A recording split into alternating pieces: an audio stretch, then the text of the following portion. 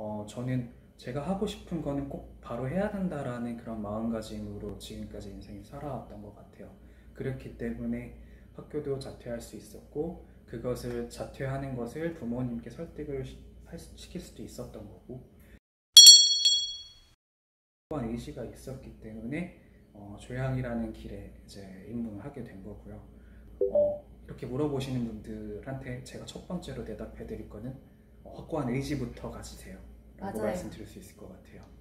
맞아요. 네. 조향은 엉덩이로 한다고 전 생각을 해요. 네. 네. 어, 뭐 세상에 수많은 직업이 있고 정말 멋진 직업들이 있는데 제가 뭐 감히 말씀을 드리자면은 존버 정신이라고 하잖아요. 맞아요. 존버 정신은 항상 필요한 것 같아요. 그래서 뭐 남들이 뭐라고 하건 어, 나는 내 길을 간다라는 그런 어, 확고한 의지와 함께 어, 버텨내는 존버 정신이 있다라면은 저 같은 사람도 어떤 확고한 의지가 갖- 갖춰졌기 때문에 이 정도 하는데 어, 그런 밑바탕이 되시는 분들이라면은 얼마나 더 잘하겠어요. 그래서 저는 어, 저보다 더 잘하실 거니까 어, 존버하시고 그리고 의지를 가지세요라고 말씀드려요. 그거를 지- 완전. 완전한 직업으로 삼을 거냐, 직장을 취직하기 위한 어떤 수단과 이제 어떤 발판이냐, 음, 브랜드를 준비를 할 거냐, 뭐 이런 여러 가지를 먼저 물어보고 좀 말씀을 드릴 수 있을 것 같은데 어, 그게 아니라면은 저 같은 길을 걸으셔도 되고요. 그거는 사실 뭐 원하시는 대로 그리고 심지어 이제 조양 가문의 이제 문화생 같은 그런 개념으로서 들어갈 준비를 하고 있었는데 그래서 그 갈 돈으로 죄다 향유를 샀고요.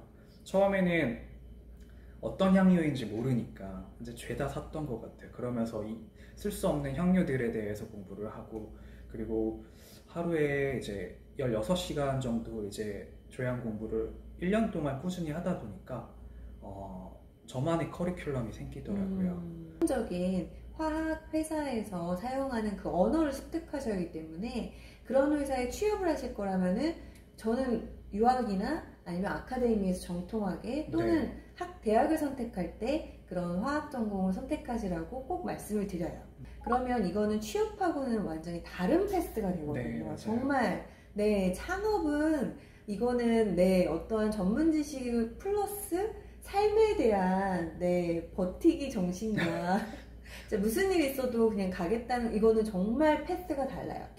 20카 같은 경우도 이제 들어가 학교를 들어가려면 이제 기본적으로 화학과를 맞아요. 졸업한 상태에서 이제 지원을 할 수 있기 때문에 그런 정보를 미리 습득을 하시고 그거에 맞춰서 준비를 하시면 될 것 같아요. 네, 일단 식향과 향장이랑 네. 이런 쪽으로도 본인이 이제 스스로 한번 결정을 해보시는 것도 좋고요. 네. 식향 같은 경우는 여러분이 드시는 음료들의 향은 이제 음료나 음식들의 이제 향이거든요. 참고로 연구소에 계신 분들의 증언에 따르면 어, 밖에 나오셔서 주스를 안 드신다고 하더라고요. 어, 일단 돈이 필요해요. 네. 왜냐하면은 향수를 기준으로 따졌을 때 향수는 이제 화장품 영역에 들어가고요. 어, 적법한 절차 하에서 생산을 해야 되는 이유가 맞습니다. 첫 번째고 그리고 그 화장품을 만들기 위해서는 어, 여러 가지 부자재들이 필요해요. 부자재들을 어, 간단한 예로 뭐 향수병이 있고 그리고 거기에 맞는 스프레이와 숄더가 있고 그리고 캡이 있고 이제 그걸 꾸며주기 위한 패키지가 있고 이런 것들을 생산하기 위해서는 또 최소 발주 수량이라는 게 그렇죠. 존재하는데 네, 가장 중요하거든요. 매우 중요합니다. 네.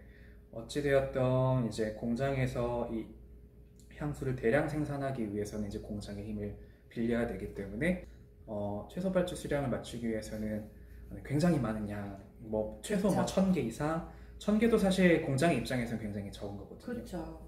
뭐 5천 개, 만 개, 2만 개 이렇게 생산을 해야 되는 경우가 있어서 이 자금을 준비하기 위한 네 아, 미리 저축하세요.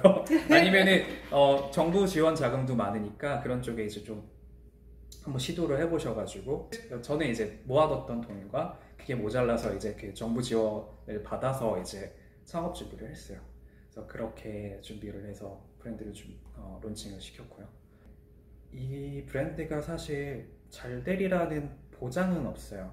잘 될 수도 있지만 안 될 수도 있거든요. 사실 안 됐을 때 사람이 굉장히 많이 흔들릴 수도 있어요. 이거 맞아요. 그만둘까? 이거를 그냥 싼값에 넘겨버릴까?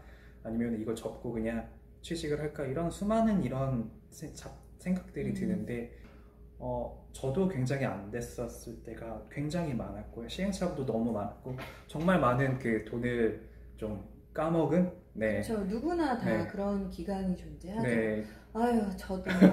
그래서 그냥 항상 마음으로 MBA를 네. 현실에서 갔다 왔다 이런 네. 마음으로 아. 네. 내가 지금 안 되고 있지만은 나는 이제 이 브랜드를 어떻게 키우고 키우겠다라는 이런 확신, 확고함이 있다라면은 좀 이 창업하는데 이제 조금 어, 그나마 이제 수월하게 지금도 어렵고 어, 조양도 어렵지만은 사업도 어려워요. 그리고 어, 정체돼 있으면 안 되거든요. 항상 투자를 해야 돼요. 그렇죠. 오르간 속에 수백 가지 향료들이 존재하지만은 어, 사실 향료도 유통기한이 존재하기 때문에 맞아요. 향료를 이제 일정 기간 동안 계속 갈아줘야 되거든요. 거기에 계속 투자를 해야 되는데 이렇게 내가 이제 이 브랜드를 이제 운영하기 위해서는 정말 많은 돈이 필요하니 어, 돈 되는 일들을 해야죠. 그리고 돈이 되게끔 만들어야 되기 때문에 어, 어지간한 마음가짐으로는 사실 어, 권해드리고 싶진 않아요. 절대 그 사업적으로 제가 성공했다라는 그 성공의 기준은 이제 사람마다 다르지만은 어, 사업적으로 저는 아직 성공을 하지 않- 않았어요. 이거는 꼭 참고 부탁드리고 너무 어려워요. 네, 솔직히 말씀드려서 사업 자체도 어렵지만은 향후 관련된 사업을 한다라는 거는 저는 어, 더 어렵다고 생각을 하거든요. 맞아요.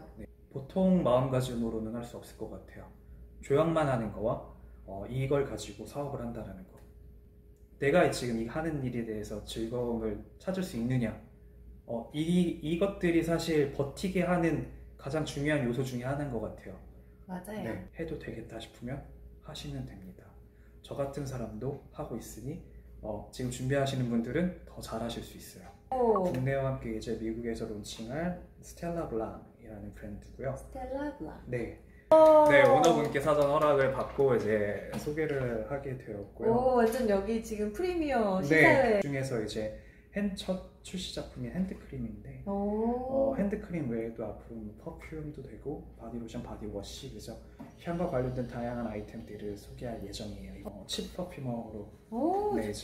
활동을 하고 어, 이 브랜드에서 나오는 모든 제품들의 향은 이제 제가 오. 저의 손에서 이제 나올 예정이에요. 그리고 스텔라 블랑 향을 이제 킁킁 이렇게 맡을 때마다 이렇게 네. 활림의 네. 네. 손길을 네. 네. 활림의 작업을 네, 저의 손길을 느껴보시고 네, 그 이제 몸이 좀 풀리신 것 네. 같아요. 네, 스텔라 블랑이라고 해서요. Smart Luxury Brand for Neo Noblesse. 새로운 형태의 그 상류층이라고 해야 될까요? 그분들의 라이프 스타일에 이제 최적화된 브랜드를 이제 준비를 하고 있어요. 핸드크림 저 안 발랐는데. 어, 진짜요? 네, 그러면은 네, 이럴 줄 알고 안 바른 건 아니고. 그, 오, 오 향이 너무 좋은데요? 네, 이항수, 뭐지? 어, 이항수 이거 같은 이거 우리나라에서도 엄청 인기 많아질 것 같은데요. 향이 좋아서. 어, 네. 부끄럽습니다. 향이 또 시큼시큼하면서 네, 만다린 오렌지 네. 향이 나고요. 맛있어요. 네. 코코넛 같은 것도 좀 있나요? 아, 네, 네. 스타니스도 들어가고 음, 네. 향신료를 집어넣었기 때문에 향, 그 아무래도 맛있다라고 느끼시는 분들이 있을 거예요. 제형도 되게 좋네요. 어, 네, 제형 때문에 골치 많이 있었어요. 이게 이제 향료를 굉장히 많이 넣어서 네, 향이 막 풍성해요. 네. 아주. 향, 그러니까 사실 이거를 끈적임도 없고. 네 맞아요. 네. 산뜻하게, 음. 네 산뜻하고 그리고 이제 보습도 좋은 이런 제형을 맞춰서 작업을 했고요. 별을 바라봤을 때 어떤 느낌일까 라는 생각을 항상 했었어요.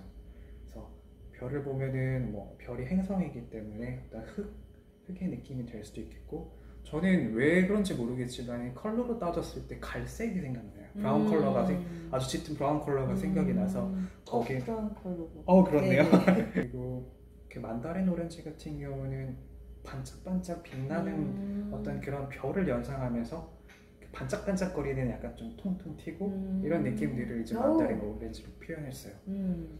다른 분들은 되게 좀 관능적인 향이라고 또 표현을 많이 말씀하세요. 톡 튀고 관능적이고 어떤 화장을 짙게 한 여인도 떠오르, 떠오르시는 오. 분들도 있으시고요. 조향 중이에요. 어... 네, 현재 조향 중이라서 지금 2차 confirm 중이거든요. 아, 뭐 향수로 나오면 이거 남녀 공용 향수로도 너무 좋을 것 같아요. 네. 커플끼리 입기도 굉장히 좋고. 네, 네. 장미가 메인이에요. 아!